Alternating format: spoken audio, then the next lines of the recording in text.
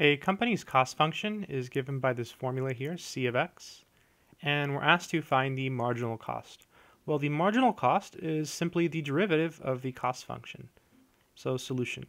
So all we have to do is take the derivative of c of x. Before we do that though, it's useful to rewrite it as follows.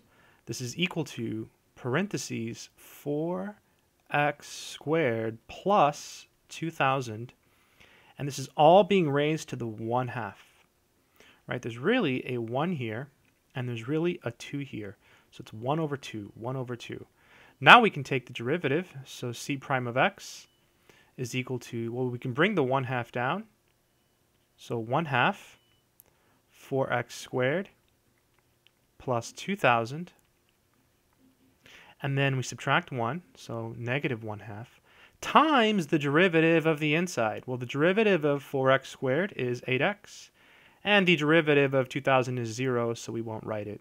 So the final answer, let's see if we can clean this up. 2 goes into 8 four times, so we get 4x divided by the square root of 4x squared plus 2000.